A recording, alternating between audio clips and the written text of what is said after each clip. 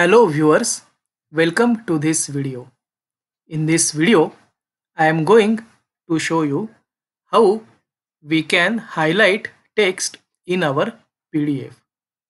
Here you can see my PDF is opened and suppose I want to highlight some important points. Then here you can see we are having inbuilt PDF highlighter.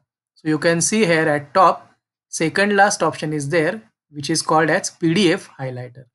So I will click here on highlighter and you can see my cursor is now in the highlighting format.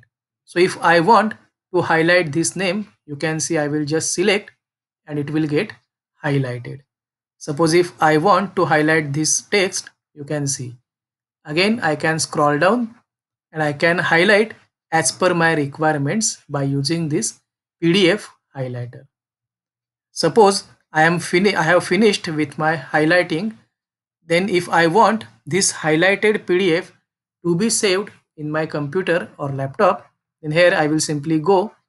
I will click on file and I will click on save as option. Then I will give the name and I will save it at respected location.